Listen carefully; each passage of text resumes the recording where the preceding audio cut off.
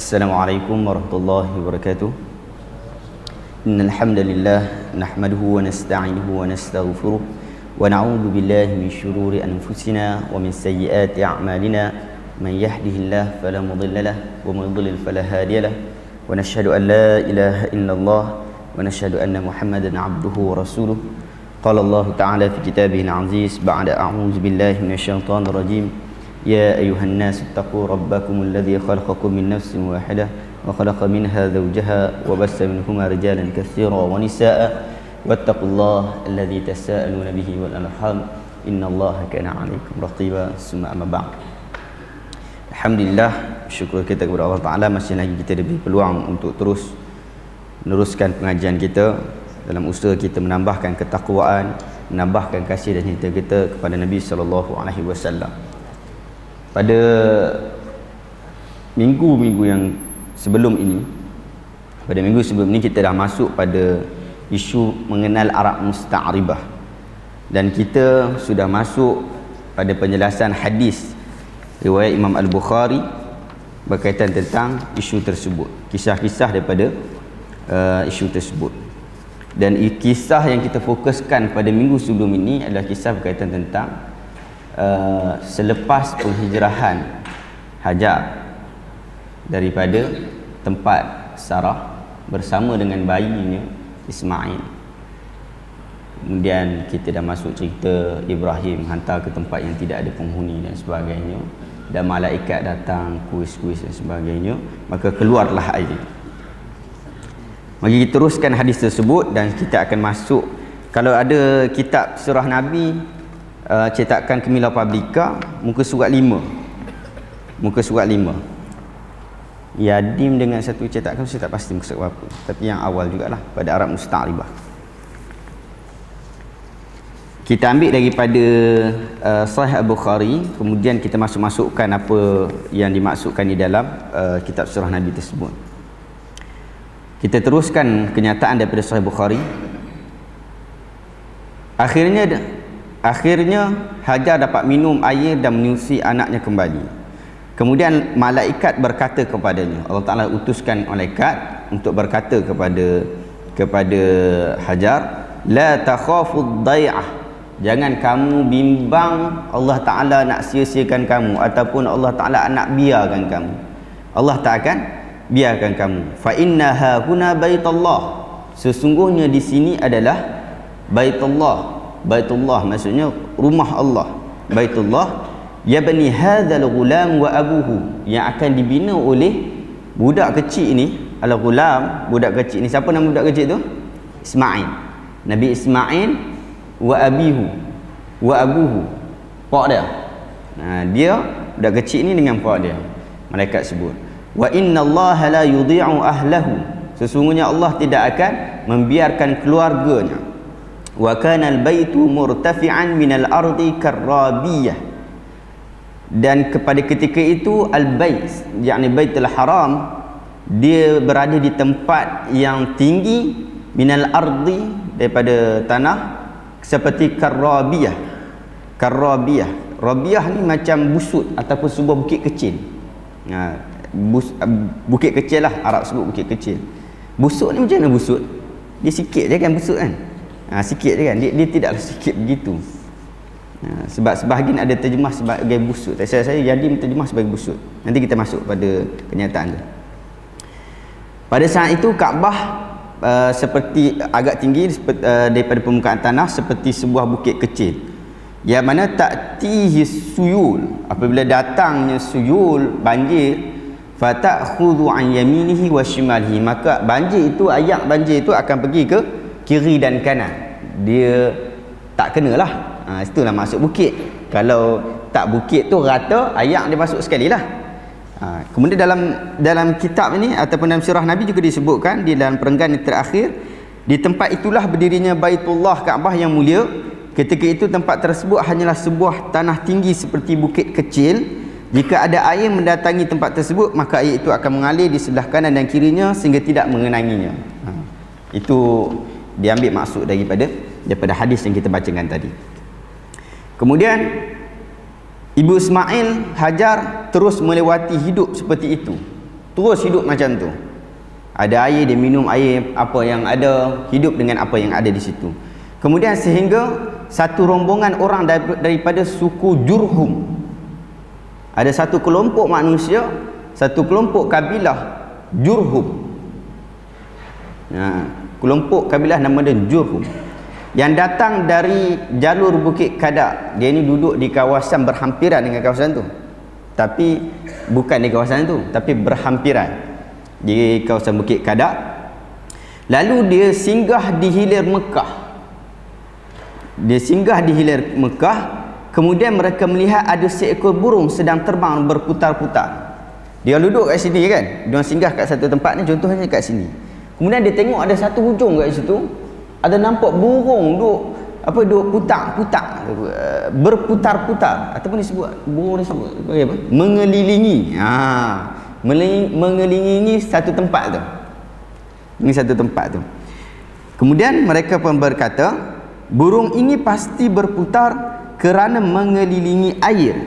Padahal kita mengetahui secara pasti bahawa di lembah ini tidak ada air biasanya burung kalau dia duduk di dia duduk apa duduk putar-putar mesti ada air kat situ. Itu dia punya hipotesis dia kan?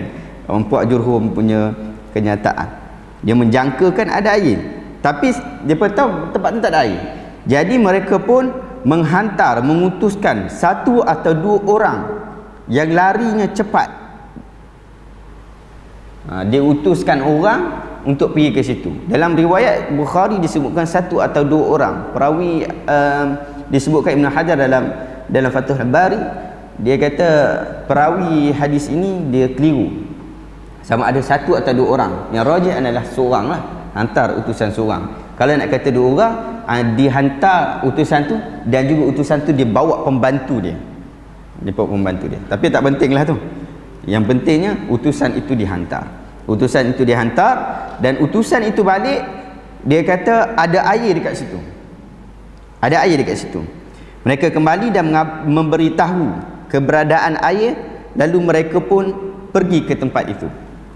Pergi pun tempat itu. Kabilah Jurhum pun pergi ke tempat air tadi.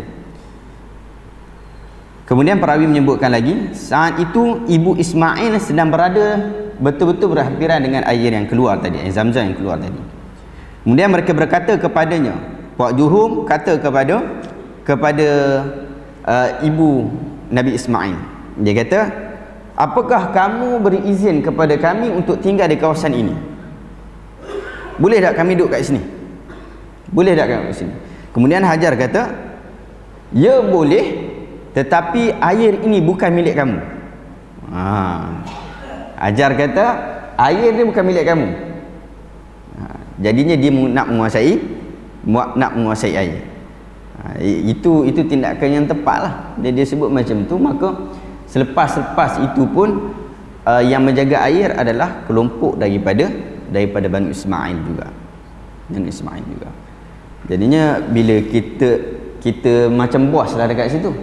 Ha, menjadi macam bos dekat situ. Kalau tidak orang main tempat kita dia buat macam tempat dia ha, lagi satu Arab ni dia nak kena bagi tahu macam tu ha, ada Arab tuan-tuan dia kena bagi tahu kata saya dia buat macam tempat dia saya kadang rumah dengan Arab ni macam-macam dia buat macam tempat dia kan kemudian Puak Jurhum berkata baiklah. Okey. Tak ada masalah.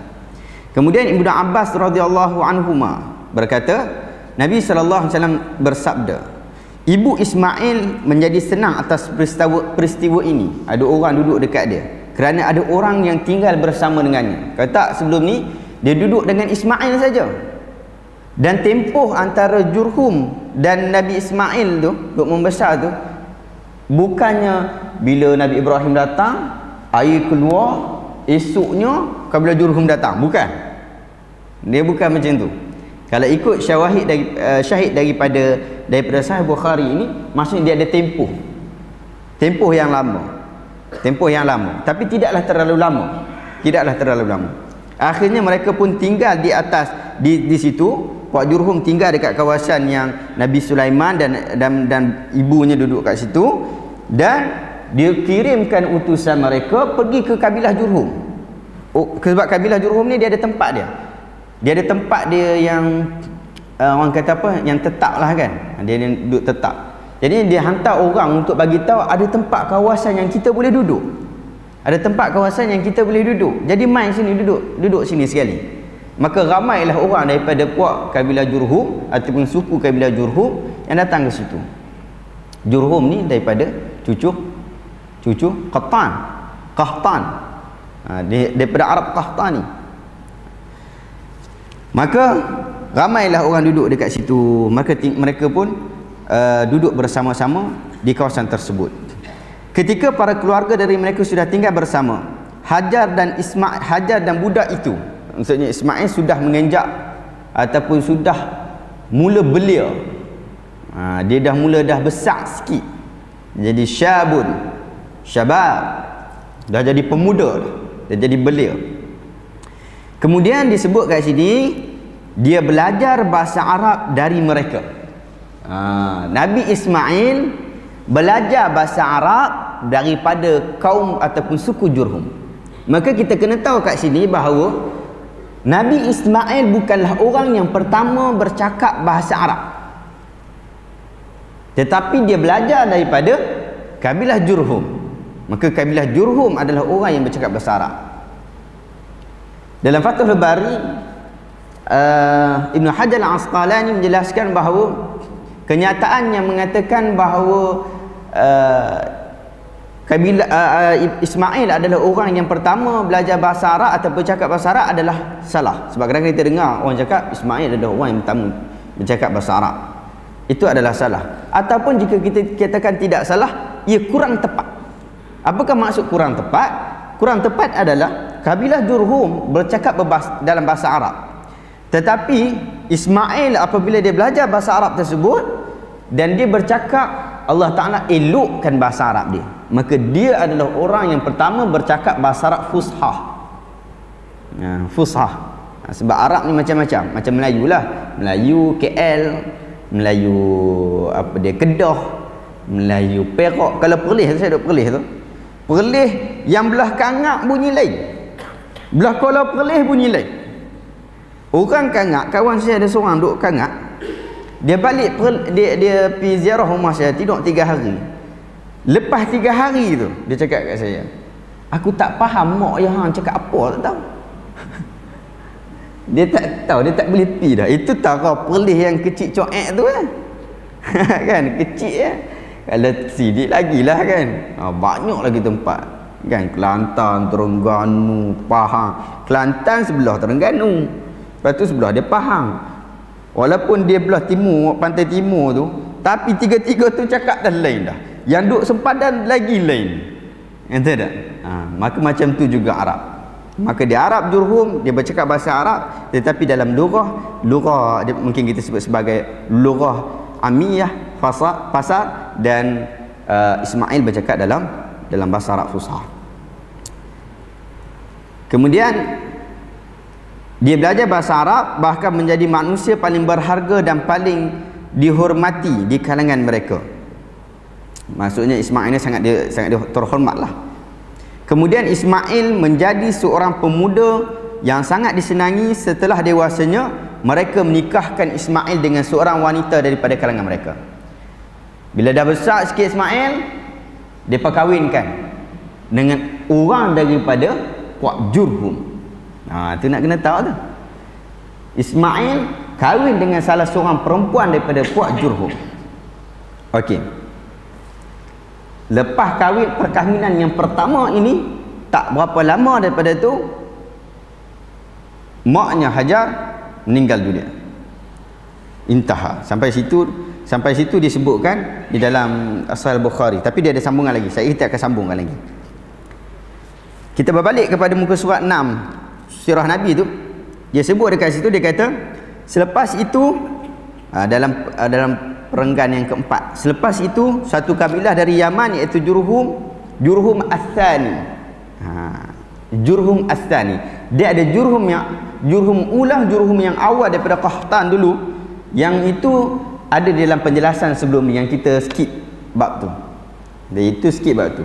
Sebab kita rasa tidak perlu penerangan yang panjang kita nak ambil yang betul-betul berkait dengan Nabi SAW yang lain tu dia tak kait sangat dia jauh sangat dia punya dia punya kaitan tu. Maka jurhum kat sini adalah jurhum yang kedua jurhum asani. Mereka ini mendatangi Mekah dan menjadi penduduk di sana atas keizinan daripada Ibnu eh, Ibunda Ismail.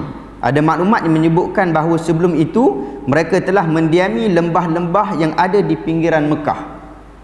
Riwayat Imam Bukhari yang kita bacakan tadi menyebutkan mereka masuk Mekah dan ibunya berada di sana kemudian diberkahkan dan sebagainya Kemudian disebutkan di sini Nabi Ibrahim beberapa kali menempuh perjalanan ke Mekah. Beberapa kali dia pergi ke ke Mekah. Jadinya kita ada perjalanan dia. Yang pertama, ha, kita nak kena tahu Nabi Ibrahim dia pergi balik ke Mekah ni berapa keadaan. Dia dah balik tadi, kemudian dia pergi semula. Yang pertama pada kisah uh, dia mimpi sembelih sembelih anak dia. Nabi Ibrahim mimpi sembelih anak dia tu dalam surah dalam surah surah As-Saffat. Dalam surah As-Saffat 103 104. Dalam surah As-Saffat Allah Taala sebut sewaktu kedua-duanya berserah diri dan Ibrahim membaringkan anaknya dengan pelipis menyentuh tanah kami pun menyeru kepadanya hai Ibrahim engkau telah membenarkan mimpi itu sehingga akhir. Ayat tersebut berlaku ketika kecil. Waktu tu kecil lagi. Tak kahwin, tak apa kecil lagi. Kecil lagi. Waktu tu Nabi Ibrahim dan Nabi Ismail jumpa dan lepas tu dia balik. Dia balik semula ke tempat dia. Ke Palestin lah. Dia balik semula ke Palestin. Itu yang pertama. Kemudian kali kedua ataupun dalam pertama tu juga disebut di dalam kitab Bible dalam bahasa Arab disebut Safrut Takwin bab kejadian. Disebutkan bahawa Nabi Ismail lebih tua 13 tahun berbanding dengan Nabi Ishaq. Nabi Ishaq ni anak siapa? Nabi Isa anak anak Sarah. Nabi Ismail anak anak Hajar. Ha. Siapa lebih tua? Kalau menurut Bible dia kata Nabi Ismail lebih tua 13 tahun berbanding dengan Nabi Ishaq. Kisah ini kita di atas menyatakan bahawa peristiwa itu terjadi sebelum lahirnya Nabi Nabi Ishaq kerana khabar gembira tentang Nabi Isa disebutkan setelah dipaparkan kisah di atas. Maksud kita kisah yang kisah penyembelihan itulah. Kisah di atas paling tidak mengandungi satu perjalanan pengembaraan Nabi Ismail dalam muka surat tujuh tu dalam surah Nabi kita surah Nabi tu disebut kat situ uh, satu riwayat. Uh, riwayat tu silap tu sebenarnya satu perjalanan sebelum Ismail menjadi pemuda Namun tiga sanad kan dia sebut tiga sanad. Bukan tiga sanad, tiga perjalanan yang lain. Perjalanan yang lain. Dia silap terjemah, terjemah silap. Imam Al-Bukhari menyatakan dengan cukup panjang melalui riwayat Ibn Abbas secara makhluk. Nanti kita bacakan apa perjalanan dia. Ringkasnya, tak kala Nabi Ismail mula membesar dan belajar bahasa Arab daripada kabilah Jurhum, mereka gembira dan takjub dengan kepadanya sehingga mereka menikahkannya dengan seorang wanita daripada kabilah mereka Kemudian ibunya ibunya kemudian meninggal dunia. Yang tu tidak ada dalam terjemahan sepatutnya di, di, diterjemahkan. Sepatutnya diterjemahkan. Silap. Okey. Yang pertama waktu sembelih. Lepas balik. Kemudian dua dan tiga ni bila berlaku? Dua dan tiga ni berlaku di dalam kita rujuk kepada Sahih Al-Bukhari semula. Kita rujuk kepada Sahih Bukhari semula. Dia ringkas dia sebut tapi saya lebih suka untuk sebutkan hadisnya. Kita sebutkan hadisnya. Di kemudian hari Ibrahim datang setelah Ismail berkahwin untuk mengetahui apa yang telah ditinggalkannya. Namun dia tidak menemui Ismail. Dia pergi ke rumah Ismail, waktu ni Ismail dah kahwin, bini pertama. Tapi tak jumpa. Kemudian Ibrahim bertanya tentang isterinya. Bertanya tentang uh, Ismail kepada isteri dia. Tanyalah. Dia tanyalah uh, Ismail ni sekarang macam mana apa semua. Kemudian isteri pun dia jawab. Isteri dia pun jawab. Dia sedang pergi mencari nafkah untuk kami. Lalu Ibrahim bertanya tentang kehidupan dan keadaan mereka. Isteri Ismail menjawab, kami mengalami banyak keburukan. Dia kata teruklah, hidup kami teruklah. Dan hidup kami sempit dan penuh penderitaan yang berat. Ha, bini dia ni kata, susahlah aku hidup dengan dia ni susahlah dia kata macam tu Isteri Ismail mengadu kehidupannya yang dijalani bersama suaminya kepada Ibrahim. Dia tak tahu tu pok mentua dia. Dia tak kenal. Dia tak kenal tu pok mentua dia. Ibrahim berkata, Ibrahim pesan dekat dekat apa dia isteri Ismail, Ibrahim kata, nanti apabila suami kamu balik, sampaikan salam dariku dan katakan kepadanya agar mengubah daun pintu rumahnya. Ha, dia kata saat lagi balik kirim salam dekat Ismail cakap dekat dia aku pesan tukar daun pintu rumah dia. Tukar pintu lah dia kata kan tukar pintu. Tak apa? Isteri dia pun okey okey kemudian ketika Ismail balik dia rasa ada satu benda yang berlaku kemudian dia tanyalah kepada isteri dia apakah ada orang datang tadi kan apakah ada orang datang tadi dia tanya Kemudian isterinya pun jawab, ya. Tadi ada orang tua, macam ni, macam ni keadaan dia. Datang kepada kami dan dia menanyakan kamu. Lalu aku terangkan dan dia bertanya kepadaku tentang keadaan kehidupan kita. Maka aku terangkan bahawa aku hidup dalam keadaan kepayahan dan penderitaan. Kemudian Ismail bertanya lagi, apakah orang itu bagi pesan apa-apa kepada kamu? Isteri dia pun jawab, ya. Dia memerintahkan aku. Dia berpesan kepada aku agar aku menyampaikan salam darinya kepadamu dan berpesan agar kamu mengubah daun pintu rumahmu. Oh dia kata macam tu. Dia sampaikan lah. Alhamdulillah sampaikan. Ismail pun kata dia adalah ayahku tu pok mentua hang tu dia kata itu pok mentua hang tu pok mentua ah, bapa mertua kamu oh, pok mentua tak faham bapa mertua kamu itu pak mentua kamu tu. Ayah aku. Dan dia sebenarnya dia dah habaq dekat aku, dia bagi tahu dekat aku, dia pesan dekat aku, dia perintah dekat aku supaya aku ceraikan kamu. dia dia kata aku ceraikan kamu. Maka itu kembalilah kamu kepada keluargamu. Maka cerailah dia. Sebab apa? Bini dia ni tak bagus. Orang pun tak kenal. Mai tanya tentang kehidupan apa semua, dia pergi habak. Duduk oh, teruk lah hidup derita sebagainya. Orang dia tak kenal. Dia duduk dia duduk sebam macam tu. Jadinya kita nak patutnya kita nak kena jaga keluarga kita. Betul tak? Kita nak kalau ada aib tu, man satara musliman satarallahu yaumal qiyamah kan Allah Taala sebut. Siapa yang menutup aib seseorang muslim, maka Allah Taala akan tutupkan aib dia di dalam di, di hari akhirat. Betul tak? Ni apatah lagi keluarga kita. Patut kita kena jaga lah keluarga kita. Tapi dia tak jaga. Dia tak jaga. Dia pergi hapak dekat orang. Dia pergi dekat hapak. Hapak dekat orang. Pula orang tak kenal. Macam tu kita kita Facebook sekarang ni kan. Facebook, Twitter. Yang senang nak update ni. Ada masalah family sikit ke. Sebab tu dulu. Waktu awal-awal tahun 2006 dulu. Waktu Facebook mula nak famous. Um, fatwa daripada Mesir. Uh, Hayat Kibar Ulama' Mas dia bagi uh, satu kenyataan mengatakan bahawa waktu tu lah waktu tu haram Facebook untuk orang perempuan uh, waktu tu waktu tu sekarang dah ada tarik balik lah fatwa tu dan, uh, sebab fatwa ni berubah kan sebab waktu tu ada isu kes isteri orang duk pi apa? Chat-chat apa namanya message. Ha message dengan laki orang. Sehingga akhirnya buk, bukannya cek tu perkara yang penting-penting perkara yang tak penting. Anda makan tak lagi? Ha, tanya dah makan tak lagi kan? Ha, macam mana? Bisui kat pipi tu dah picit belum? Ha, dia tanya benda-benda tak perlu benda-benda tak perlu dan akhirnya menyebabkan perpecahan dalam rumah tangga. Ha, sepatutnya. Dan ada juga kan, whatsapp semuanya ada kawan gitu kan. Kawan kita. Kita duk whatsapp pasal family rumah kita. Bagi tahu ni mak mentua aku tu aku tak suka betul. Dia tu tak boleh. Aku nak duduk diam sat tak boleh. Sikit-sikit nak suruh aku pergi basuh. Kucing berak pun nak suruh aku basuh. Anak-anak dia penuh awak tak basuh. Oh, kan oh, dia duduk pergi habak dekat orang.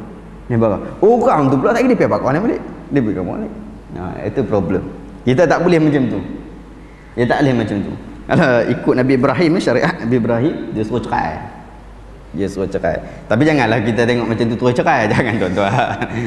Jangan tuan-tuan tak baju dulu tanya kuk-kuk dia ada urusan. Kadang-kadang manusia ni silap. Kan rewat Abu Dawud dan Ibnu Majah disebut satu hadis yang dhaif tetapi dia banyak syawahid yang lain apa dia? Kullu bani adam kullu bani adam khata'un wa khairu khata'in at-tawwabun. Setiap anak adam melakukan kesilapan. Dan kesilapan orang yang terbaik melakukan kesilapan adalah orang orang yang bertaubat. Tanyalah dulu. Itu kali pertama kali ke kali kedua Nabi Ibrahim pergi pergi ke sana. Macam itulah yang disebutkan muka surat ke nombor tujuh pun macam tu juga. Itu yang pertama. Kemudian Ismail menikah lagi dengan seorang wanita lain daripada kalangan penduduk itu juga. Maksudnya kaum Juhum juga. Lalu Ibrahim pergi lagi dalam dalam kurun waktu yang dikehendaki Allah dan setelah itu datang kembali untuk menemui mereka. Namun dia pun tak jumpa Ismail pun sama juga. Dia tanya dekat bini kawan ni. Bini Ismail. Dia tanya bini anak dia. Dia tanya keadaan tentang Ismail. Isteri dia pun jawab, dia sedang pergi mencari nafkah untuk kami. Jawapan sama dah. Ha, skrip tadi sama. Dia sedang pergi mencari nafkah untuk kami. Maksudnya Ibrahim ni dia bukan saja-saja uh, duit tak ada ke apa ke. Bukan uh, Ismail ni bukan takat bukan dia sengaja membiarkan keluarga dia macam tu. Dia telah berusaha. Kan? Sebab skrip bini pertama ni skrip bini kedua sama. Skrip dia sama Ibrahim keluar mencari nafkah untuk kami. Okey, itu sama. Kemudian lalu Ibrahim bertanya lagi, bagaimana keadaan kalian? Hampa macam mana pula? Dia pun jawab, isteri tadi pun jawab. Isteri pun isteri tadi pun jawab dia kata, kami selalu dalam keadaan baik-baik saja dan cukup. Ha, dia sebut qanaah. Ha, dia cukup. Hidup kami alhamdulillah. Hidup kami alhamdulillah cukuplah. Makan cukup semua cukup. Alhamdulillah.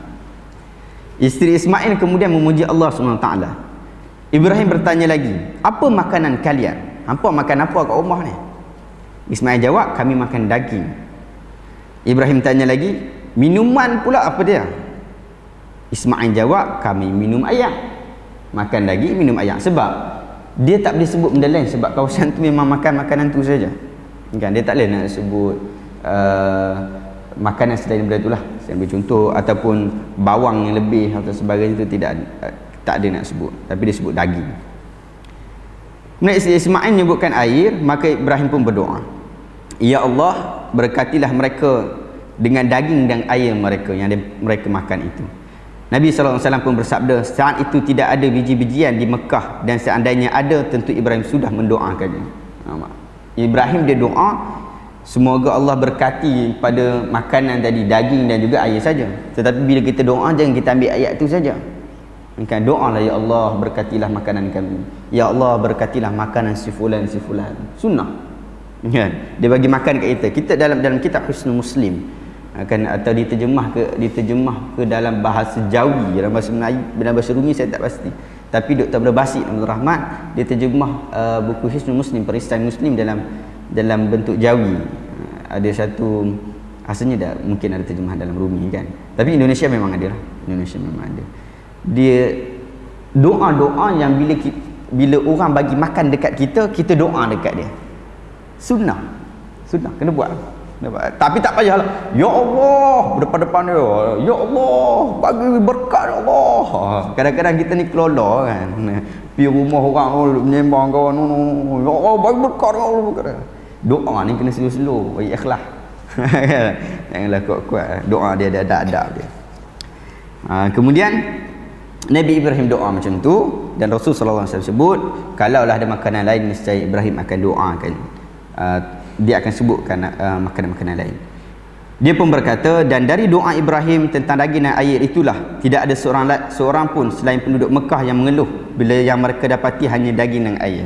Maka penduduk Mekah menjadi rasa senang dengan makanan daging dan air disebabkan doa daripada daripada Nabi Ibrahim. Ibrahim selanjutnya berkata jika nanti suamimu datang sampaikan salam dariku kepadanya dan perintahkan dia agar kukuhkan daun pintu rumahnya Ha, tadi dia suruh buang, dia suruh tukar, ini dia suruh diteguhkan lagi. Diteguhkan lagi. Kemudian Ismail balik dia tanya ada orang datang sebagainya. Isteri dia pun jawab, ya tadi ada orang tua dengan penampilan yang sangat bagus. Dia puji juga. Tadi ada seorang tua, dia penampilan dia sangat bagus.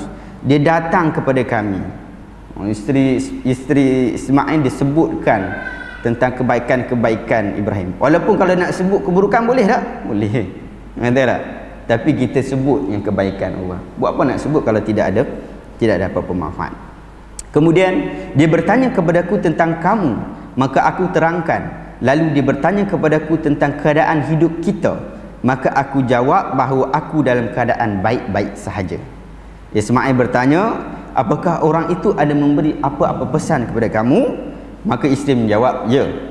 Dia memerintahkan aku agar kamu agar aku menyampaikan salam kepadamu dan berpesan agar kamu mempertahankan daun pintu rumah kamu. Ismail pun kata, dialah ayahku, pak mentua kamu tu.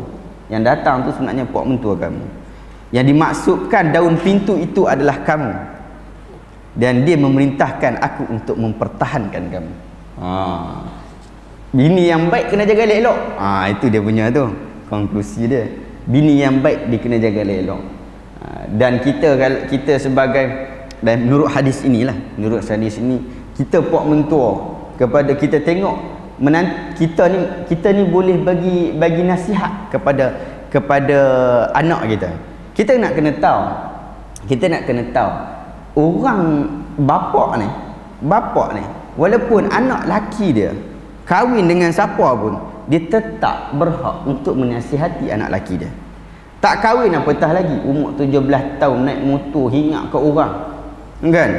Duduk dalam satu taman anak dia duduk ujung kampung. Duduk ujung bukan ujung kampung sangat. Ujung jalan ya. ujung jalan duduk berdeti dengan dengan orang yang lain dia kena tegur. Tak boleh kata oh dia dah besar dia, fikir sedikit. Ya biasalah. Budak baru nak up. Bahasa kita budak baru nak naik kan? Budak baru nak nak mencari kehidupan. Oh tak boleh. Tak boleh. Kita kena nasihat dia. Dia besar mana pun kita kena nasihat dia. Kita nak kena nasihat dia. Dia dah kahwin pun kita boleh nasihat lagi. Dia kita boleh nasihat lagi. Eh kalau orang perempuan dia susah sikit lah.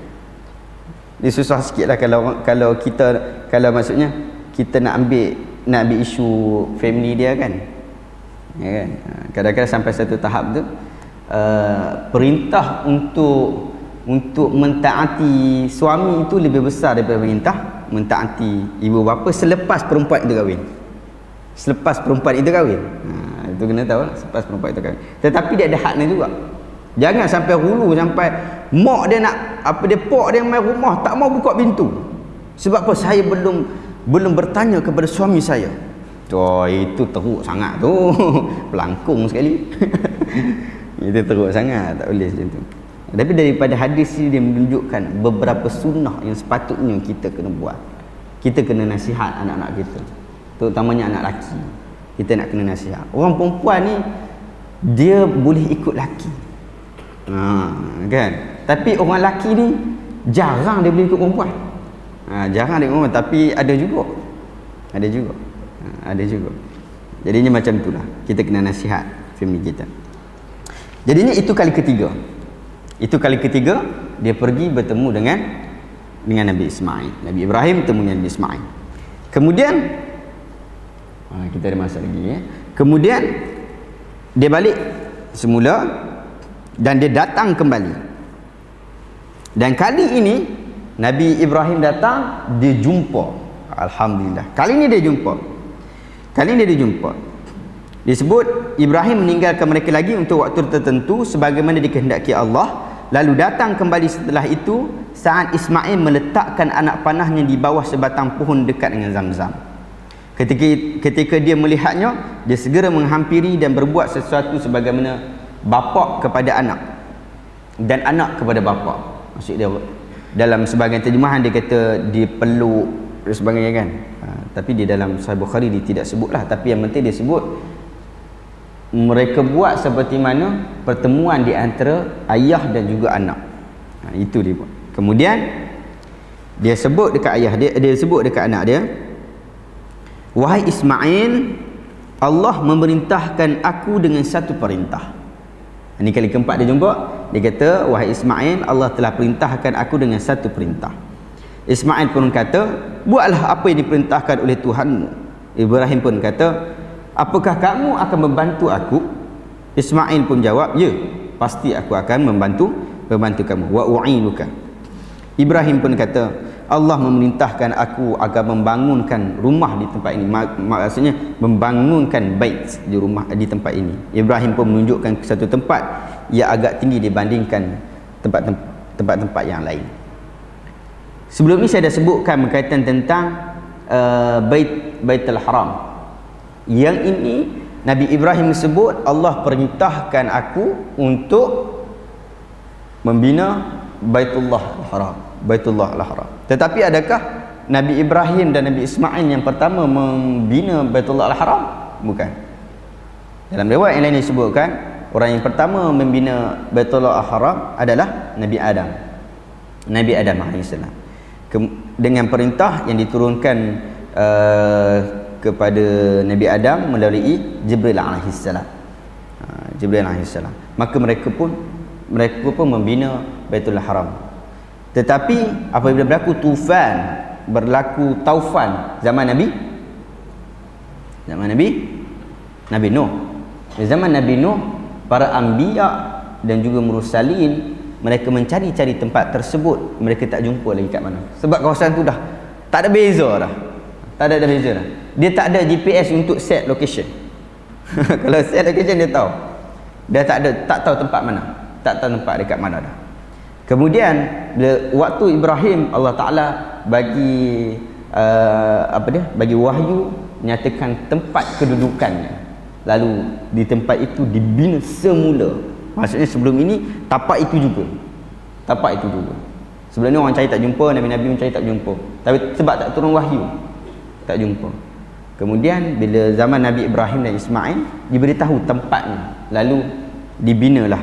Dibinalah tempat tersebut.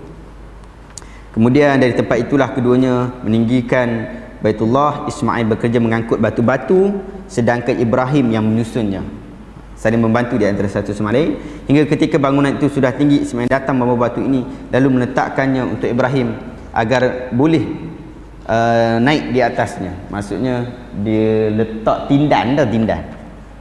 Itu tindan perkataan tindan bahasa fusah apa tindan juga ke apa? Bertindan-tindan. Ha, tindan lah kan. Bertindan-tindan letak batu atas. Sebab tu dah tinggi kan? Dia nak naik tak boleh.